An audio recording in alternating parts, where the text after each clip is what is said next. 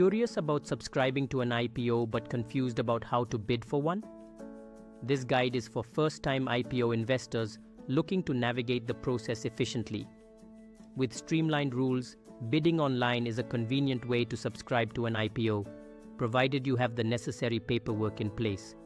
Here are some fundamental tips to get you started. IPOs are classified into three categories retail, high net worth individual, HNI, and institutional. The retail category, open to the public, allows investments up to rupees 2 lakhs. SEBI designs this quota to ensure broad retail participation. HNI and institutional categories have proportionate or discretionary allocation. There are two pricing types, fixed price and book-built IPOs. In book-built IPOs, the company provides a price range with the cut-off price decided during the bidding process.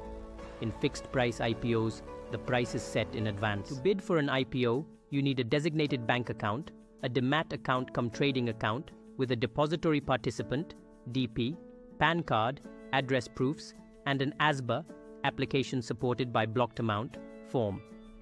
The ASBA form authorizes your bank to block funds for the IPO bid, earning interest until allotment. Retail investors can bid on IPOs by following the lot size which specifies the minimum number of shares to subscribe. The maximum for retail investors is rupees 2 lakh. Bidding can be done online through DMAT and trading accounts or offline by visiting a broking firm's office. Online applications are preferred for their simplicity. Retail investors can bid at the cutoff price, which increases their chances of getting shares, especially in oversubscribed offers. Offline bidding is also possible, but online applications are preferred for their convenience. To bid online for an IPO, use your trading platform's IPO page to select the IPO, enter the number of shares, and submit your bid.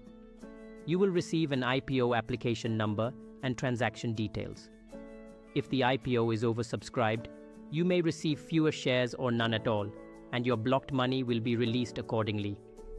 Successful bidders receive a confirmatory allotment note, CAN, within six working days, which are then credited to your DMAT account. Once the shares are listed on stock exchanges, you can choose to hold or trade them. Investments in securities market are subject to market risks. Read all the related documents carefully before investing.